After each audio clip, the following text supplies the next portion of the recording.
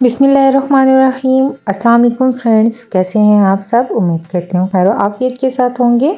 आज मैं लेके आई हूँ आपके लिए डोनट बनाने की बहुत ही आसान रेसिपी, जिसके लिए हमने सबसे पहले एक बाउल ले लिया है और उसके अंदर हमने एक कप दूध ऐड किया है। वन हाफ़ कप हम शुगर ऐड करेंगे एंड वन टीस्पून हमने वनीला एसेंस ऐड किया है और एक अदद अंडा ऐड करेंगे। सारी चीज़ें ऐड करके इसको अच्छी तरह से मिक्स कर लेंगे। जैसा कि आप वीडियो में देख सकते हैं, आपने इसको तब तक के लिए मिक्स करना है जब तक कि चीनी हल ना हो जाए। अब हम एक बाउल लेंगे।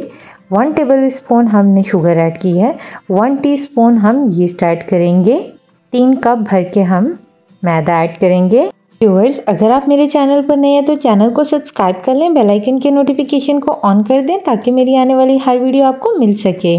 One half tablespoon sugar add करेंगे। और तमाम मिक्सचर को मिक्स कर लेंगे अच्छी तरह से। अब हम इसके अंदर अंडे का मिक्सचर ऐड करेंगे। ग्रेजुअली ऐड करेंगे।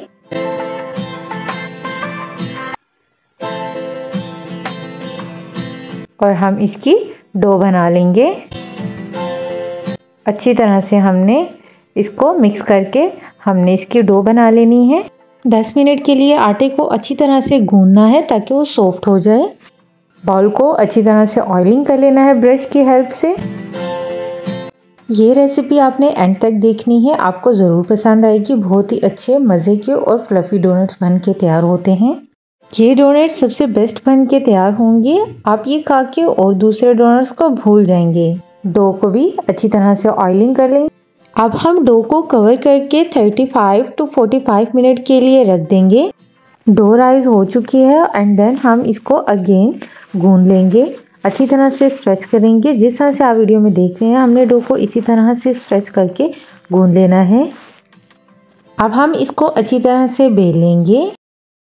आपने इसकी थिकनेस हाफ़ इंच के करीब रखनी है।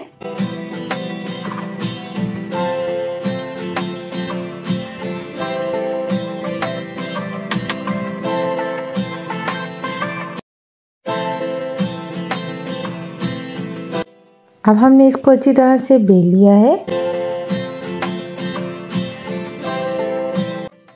मैं यहाँ पे चाय मग की हेल्प लेके इसकी कटिंग कर रही हूँ। आप डोनट कटर भी यूज़ कर सकते हैं या कोई भी गोल चीज़ इस्तेमाल कर सकते हैं इसकी कटिंग के लिए। डोनट्स की कटिंग के लिए आप जिस भी चीज़ का इस्तेमाल कर रहे हैं, उसकी एजिज शार्प होनी चाहिए। आपके लिए इसे कट करना इजी रहेगा। डोनट के होल्स बनाने के लिए मैं नोज़ल्स का इस्तेमाल कर रही हूँ। इस तरीके से हम डोनट्स की अच्छी शेप बना लेंगे। बाकी की डो को फिर से इकट्ठा करके हम फिर से बेल के और डोनट्स बना लेंगे। डोनट्स को फिर से राइस होने के लिए 20 मिनट के लिए छोड़ देंगे। हमने डोनट्स को फ्राई करने के लिए पहले से ही ऑयल गर्म करके रख दिया था। मीडियम फ्लेम होना चाहिए। ज़्यादा फ्लेम हाई होगा तो डोनट अंदर से कुक नहीं होंगे।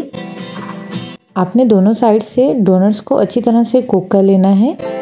कलर डार्क होने पे आपने फ्लेम लो कर लेना है। दोनों साइड से डोनट कुक करेंगे। डोनट्स फ्राई करने के लिए आप कोई भी फ्लेवरलेस ऑयल यूज़ कर सकते हैं।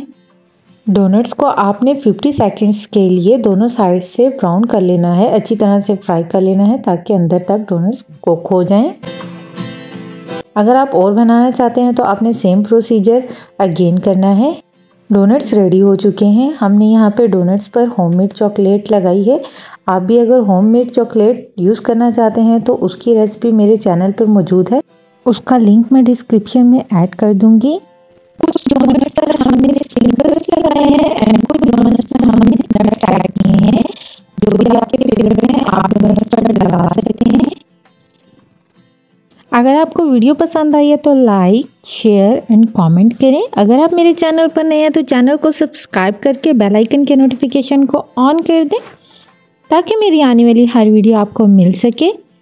आपसे मिलते हैं एक नई वीडियो में। तब तक के लिए अल्लाह हाफिज़। Cook yummy and eat yummy. Thank you for watching